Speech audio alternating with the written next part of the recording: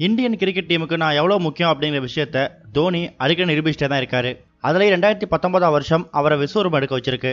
அதுலேயும் batting stumping fielding நிற்க வைக்கிறது பவுலிங் போட வைக்கிறதுன்னு எல்லாத்துலேயுமே மிரட்டிட்டு அடுத்தால தோனி. இந்தியா அப்புறம் நியூசிலாந்து கடையில் நடக்கிற ரெண்டாவது போட்டியில் கூட தோனி அவரோட அதிரடியை காமிச்சிருக்காரு. வழக்கம் போல இந்தியன் கிரிக்கெட்டும் பேட்டிங்கில் சிக்கி தவிச்சிட்டு இருந்தப்ப அதை தூக்கி டிபார்ட்னவரும் நம்ம தலை தோனி தான் கடைசி வரைக்கும் விக்கெட்டை விட்டு கொடுக்காம முப்பத்தி மூணு பாலுக்கு நாற்பத்தெட்டு ரன் அடிச்சிருக்காரு.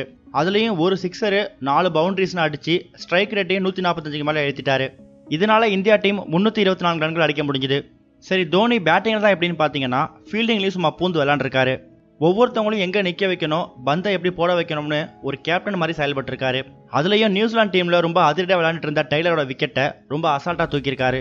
கேதர் ஜாதவ் விக்கெட் எடுக்காம தவிச்சிட்டு இருந்தப்ப டைலர் அவரோட பந்து அடிக்காம தோனி கையில கொடுத்துட்டாரு. தோனி ஒரு செகண்ட் கூட வேஸ்ட் பண்ணாம டைலர் கிரீஸ்ல இருந்து காலை எடுத்த அடுத்த செகண்டே ஸ்டம்பிங் பண்ணிட்டாரு. இந்த விஷயம் அங்க இருந்த எல்லாருமே பிரமிக்க வச்சிருக்கு. இது கண்டிப்பாக அவுட்டு தான் முடிவு பண்ணி தோனியும் சாகலும் அம்பையர்ட்ட கேட்டிருக்காங்க. அதுக்கப்புறம் தேர்ட் அம்பையர் ஜூம் பண்ணி அது அவுட் அப்படிங்கிறத கன்ஃபார்ம் பண்ணியிருக்காரு. இதுக்காக தான் தோனி இந்தியாவுக்கு தேவை அப்படிங்கிற விஷயத்த மறுபடியும் நிரூபிக்க வச்சிருக்கு. ஒரு வகையாக இந்த ரெண்டாவது போட்டியில் இந்தியா நியூசிலாண்டை தொண்ணூறு ரன்கள் வித்தியாசத்தில் ஜெயிச்சிருக்கு. இந்தியா இப்போ நியூசிலாந்துக்கு டூர் போயிருக்கு. அஞ்சு மேட்ச் கொண்ட ஒன் டே சீரீஸில் இப்போ விளையாண்டுட்டு இருக்காங்க. இதுல முதல் மேட்ச்லேயே இந்தியா ஜெயிச்சிட்டாங்க. ரெண்டாவது மேட்ச்ல டாஸ் வின் பண்ண இந்தியா ஃபர்ஸ்ட் பேட்டிங்கை சூஸ் பண்ணியிருக்காங்க. அதுலேயும் இந்தியாவுக்கு ஆரம்பமே அதிரடியாக இருந்துச்சு. ரோஹித் சர்மாவும் ஷிகர் தவானும் ஒரு நல்ல ஒரு பார்ட்னர்ஷிப் கொடுத்தாங்க. ரோஹித் சர்மா ஷிகர் தவான் விராட் கோலி தோனி கேதார் ஜாதவ்னு இவங்க எல்லாருமே அவங்களுக்கு கிடைச்ச வாய்ப்பை மிஸ் பண்ணவே இல்லை விட்டு விளாசிட்டாங்க. இது மூலியமா இந்தியாவோட ரன் ரேட் ஃபர்ஸ்ட் ஓவர்லேருந்து கடைசி வரைக்கும் ஒரே அளவில் மெயின்டைன் ஆகிட்டே இருந்துச்சு. அதுலேயும் ரோஹித் சர்மாவும் ஷிகர் தவானும் நூற்றி ஐம்பது ரன்கள் பார்ட்னர்ஷிப் போட்டிருக்காங்க.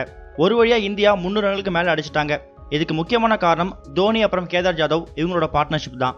கடைசி அஞ்சு ஓவரில் மட்டுமே 57 ரன்கள் இந்தியா அடிச்சிருந்தாங்க. அதிகபட்சமாக இந்தியா முன்னூற்றி இருபத்தி நாலு ரன்கள் எடுத்திருந்தாங்க. முன்னூற்றி இருபத்தஞ்சு டார்கெட்டோட நியூசிலாந்து கிளம்பிறங்கினாங்க ஆனால் இந்த மேட்ச்சில் நியூசிலாந்துக்கு ஓப்பனிங் சரியாக அமையவே இல்லை. ஆரம்பத்தில் ஆடின பேட்ஸ்மேன் எல்லாமே சொதப்பிட்டு இருந்தாங்க.